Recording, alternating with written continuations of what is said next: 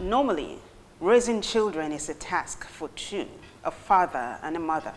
But in recent times, that which was for two to handle has become largely the responsibility of one, mothers, leading to a common case of single motherhood. Now, Rachel Ramson went on a search to find out why this trend is taking a stronghold in today's society. Take a look.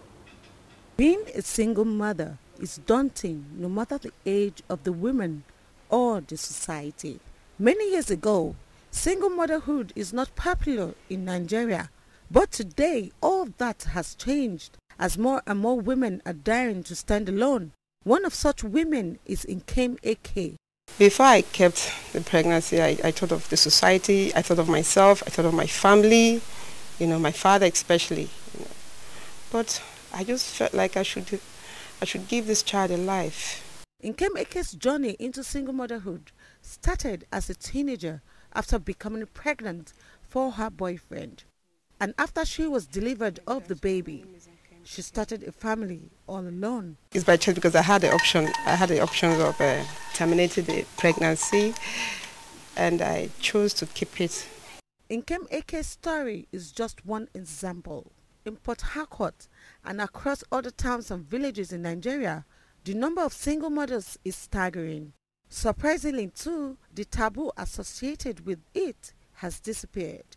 Overall, who gains and who loses in this circumstance? A marriage counselor, Dr. Christine Bature Ogbefun, says children are at the receiving end. She believes most single mothers took the decision based on ignorance. But when you find children raised by mothers alone, most of the time they're angry. They're angry. Where's my daddy? I don't have an authority figure over my life. Such mm. children kick against anything that represents authority. If some ladies regret the decision or circumstances that cast them as single moms, Nkem Eke is not in that class.